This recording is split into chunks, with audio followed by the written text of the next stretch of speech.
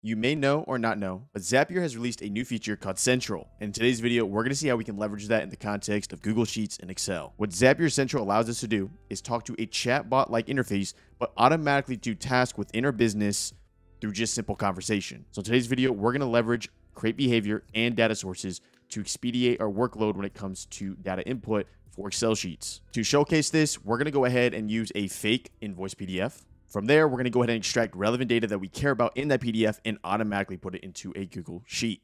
Let's jump in. In today's video, I'm just going to give you a very simple example of how to extract data and push it towards an Excel sheet slash Google Sheet. You can go ahead and use this in your business's specific context.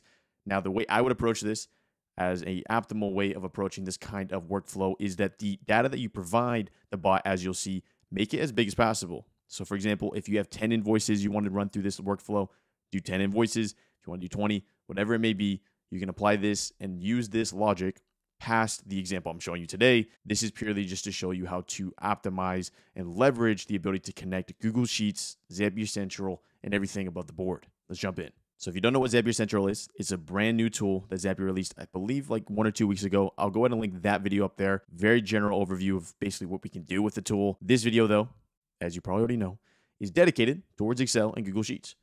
Corbin, this isn't an Excel. This is not Microsoft Excel. This is Google Sheets. I get it. I get it.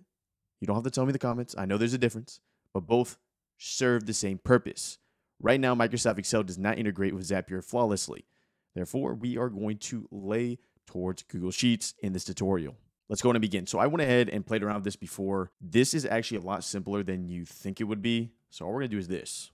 When we provide you with a data source, this will be an invoice from our company. We want you to extract the following information. Semicolon. I'm going to go ahead and make sure we spell extract correct. And then this is the invoice. So we got an invoice here. This is a fake invoice. So there is no Tim Adams.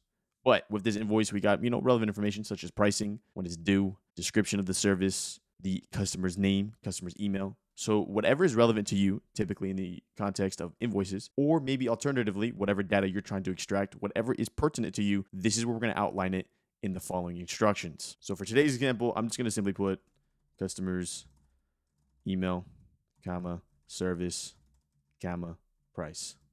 We can put more, we can put less. Now we have identified the data we want to extract for the Google Sheet. Coming over to the Google Sheet, we're going to simply add these as columns. So we put customer, and that is small, y'all. let me go and zoom in, y'all. There we go. Zoom in.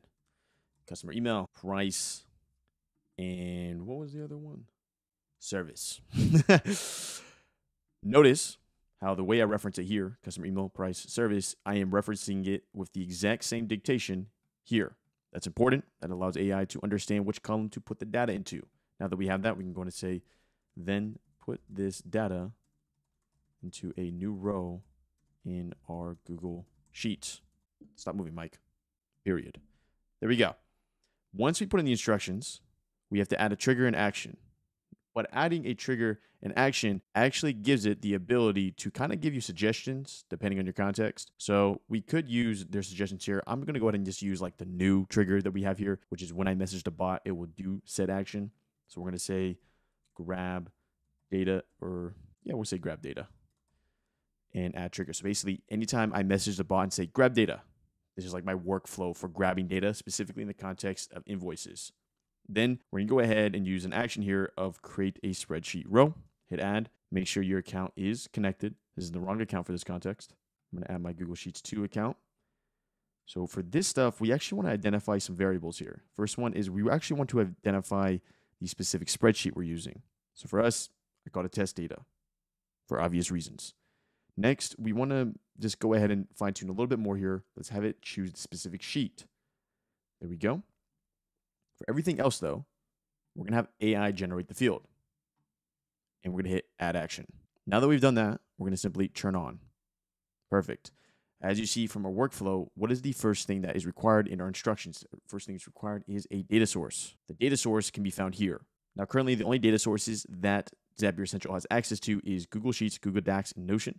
I'm going to show you a real quick trick here to how to leverage Google Docs. Also, as a side note, let me know in the comments if you want a video that's specifically dedicated towards rather than us grabbing data and pushing it towards a Google Sheet, more in terms of basically us looking through a Google Sheet, extracting data, and seeing what's relevant to us in that context. Let's go ahead and do Google Docs though. So I'm in Google Docs here. I'm to go ahead and drag my invoice PDF. First thing I want you to know is that since it's a PDF, it's not to be able to pick this up in Zapier Central.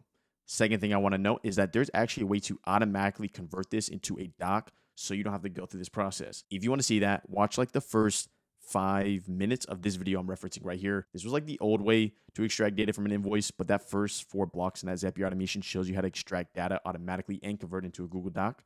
For this video though, I'm simply going to right click. I'm to say open with Google Docs. Now that I've opened with Google Docs here and it's huge, I'm to go ahead and just, you know, make this doc so we can understand it. So there we go. We got all the relevant information here. Corbin, that does not look good. That doesn't look pretty. Doesn't matter. AI doesn't care. AI just reads data. This could look extremely jumbled and would still be able to understand it. From here, we're going to go back to Excel bot. We're going to Google Docs. We're going to make sure that we've connected our Google Docs account. We're going to simply add a document, invoice doc, add data source.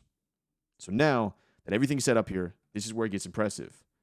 I can go ahead and so we can kind of get like a visual of what's occurring in the back end. We're gonna go ahead and sit, say test behavior. In theory, I didn't I don't have to press that. It's actually live right now, and all I'd have to do is message grab data and it would do it. But let's see what it's doing in the back end so we can understand this a little bit more. So we're gonna say test behavior here. I'm gonna get this nice little open up here, see what it does.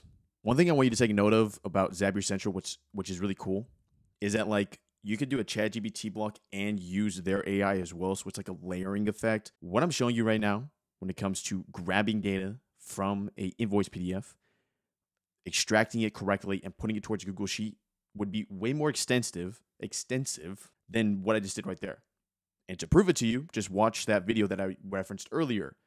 It required a lot more logic in order to achieve what we're about to do right now, as you'll see. This is kind of the movement and the steps that Zapier is taking towards making it a lot easier in a no code way to do this kind of logic. Got our action here. Just to gut check, we're dealing with an email of timadams.gmail.com. We're dealing with a price of 400 and we're dealing with a service of AI article generator. From this test data, it was able to grab the customer email, the service, and the price. But Corbin, that's not in the sheet, or is it? Boom. There we go. We have successfully automatically grabbed this data. So now we can front load this with a ton of invoices slash a bigger PDF that maybe has a ton of data that we need to extract page by page. And we know how to do it now. As of right now, we can't actually share Zapier Central bots, but if we could, I would share this bot. I think in the future, they'll probably allow that. But that concludes today's video. Make sure you leave a like. It's completely free. If this scratched a part of your brain, you were like, whoa, what is this? What did I just watch? What's going on here?